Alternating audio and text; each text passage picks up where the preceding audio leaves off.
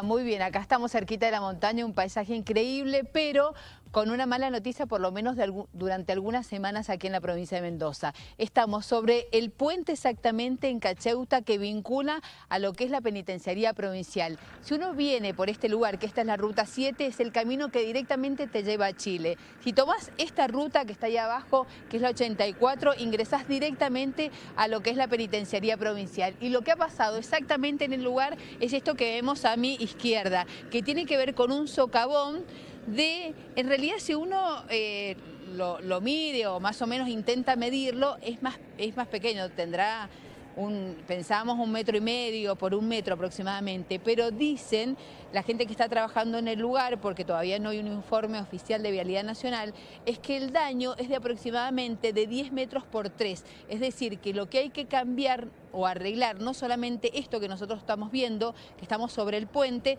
sino que la verdad que es una parte importante de la, de la calzada. Lo que hay que decirle es a toda la gente que transita, ya sea para Chile, que ustedes, recordemos, eh, ustedes recordarán que nos decía Osvaldo Valle esta mañana que hay cerca de 1.800 camiones que pasan diariamente por este lugar, hay que sumar todos los particulares, que está totalmente cortado esto, o sea, por acá no se puede pasar. Entonces, si uno viene de Chile o o, si va, lo que tiene que hacer, lo que se ha hecho es un bypass y es esto exactamente que vamos a ver acá.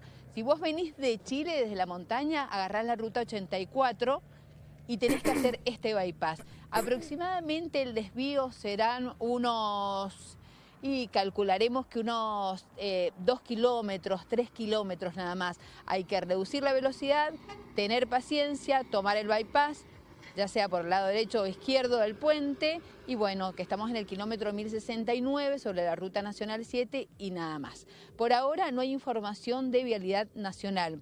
Lo que sí están los operarios acá, han cortado directamente antes del puente, hay como aproximadamente, ustedes verán, aproximadamente a unos 200 metros antes del puente está cortado el ingreso, así que no se puede pasar por acá. La gente está trabajando desde ayer en la tarde en este lugar, los operarios de Vialidad Nacional eh, aseguran que dentro de un rato va a llegar la gente de Vialidad que tiene que ver con los ingenieros y demás para ver cómo se arregla esto. Porque en principio se decía que esto en arreglar iba a tardar mucho tiempo. No, me dicen los técnicos que están acá trabajando, que han estado cerca de los ingenieros, que ellos creen, creen que por ahí podría tardar pocas semanas y se arregla.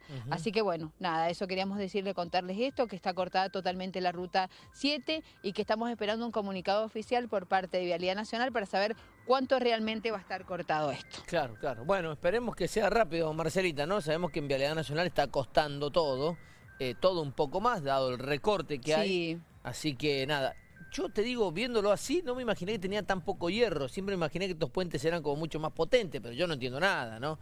Este, seguramente hay un ingeniero detrás de esto y, lo, debe hacer bien. Pero viste que uno tiene esa idea que es como decir una cosa, una, una estructura extraordinaria. Sí.